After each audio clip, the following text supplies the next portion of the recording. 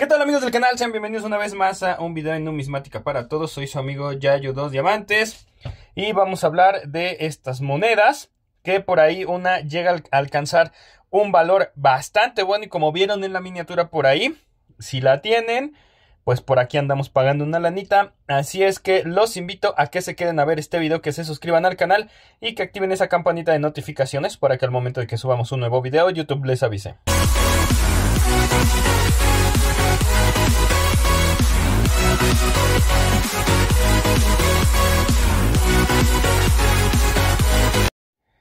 Así es amigos, un nuevo video el día de hoy, viernes 11 de febrero del 2022.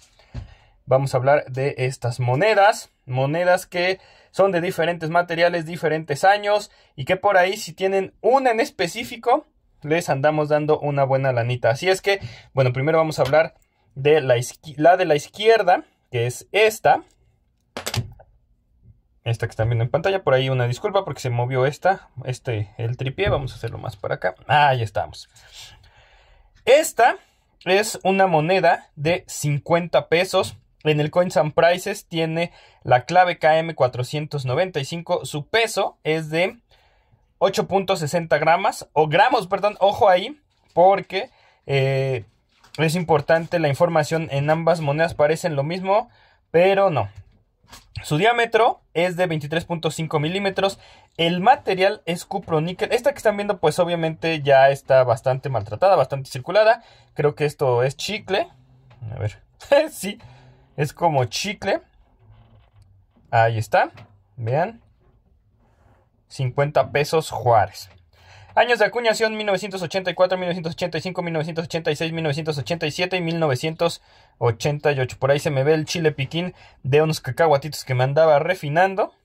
Por cierto, vamos a tener un nuevo canal de comida. Así es que, bueno, si les gusta y son de buen diente como su servidor, si les gusta mucho la comida, bueno, por ahí estén atentos porque, pues sí, vamos a tener un nuevo canal. Entonces, en el 84 se acuñan 94 millones 216 mil piezas. En el 85 296 millones. En el 86 50 millones. En el 87 210 millones. Y en el 88 80 millones 200 mil piezas. De esta. Y ahora vamos a hablar de la otra.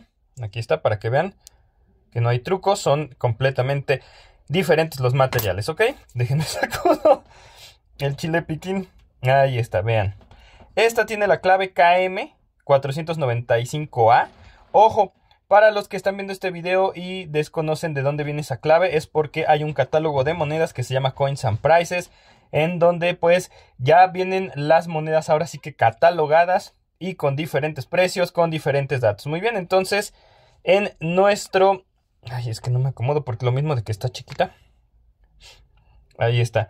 En el Coins and Prices nos dice que su peso es de 7.10 gramos, su diámetro es de 23.5 milímetros, igual que la otra. Material acero inoxidable. Años de acuñación 1988, 1989, 1990, 1992.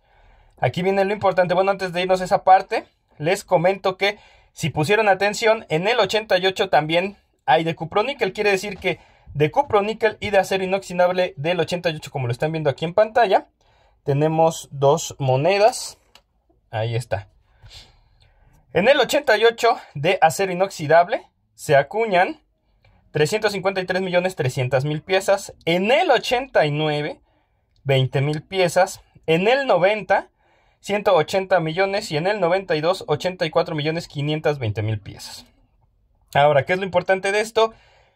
Que como se, se dieron cuenta, en el 89 solamente se acuñan 20 mil piezas, siendo el año más escaso. Ahora, hasta el momento de ese año no se ha encontrado ninguna. Es por eso que estamos buscando la moneda, es por eso que les pagamos los 10 mil pesos. Moneda de 1989 50 pesos acero inoxidable de Juárez, como la que están viendo en pantalla. Repito, 89, 1989. Espérenme porque ya me cansé.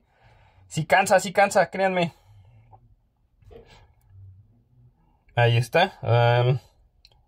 ahí estamos.